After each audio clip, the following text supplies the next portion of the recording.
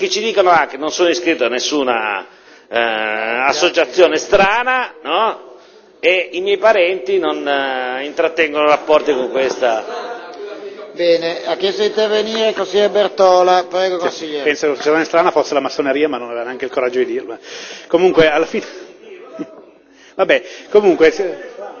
Bravo, vabbè, posso... grazie. No, perché siamo arrivati alla, al momento finale e devo esprimere comunque, scusate, la mia delusione per come, come, finisce questa vicenda.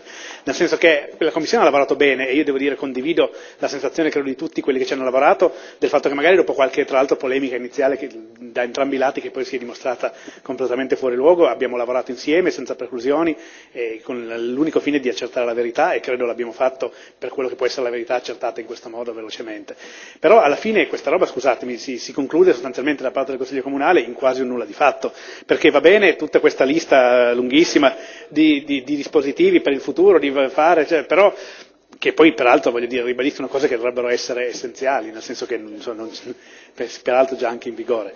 Ma eh, alla fine, su, per quanto riguarda la vicenda, chi pagherà?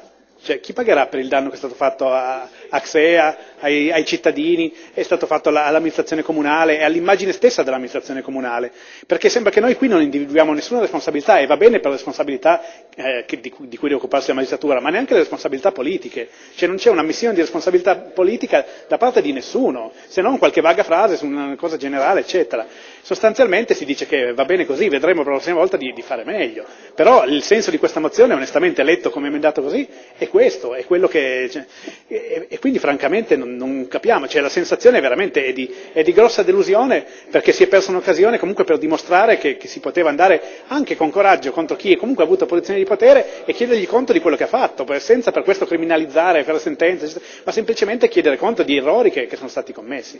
E invece onestamente la sensazione è che purtroppo anche questa volta si finisca tra luce e vino. Per cui per questo motivo noi non voteremo la mozione.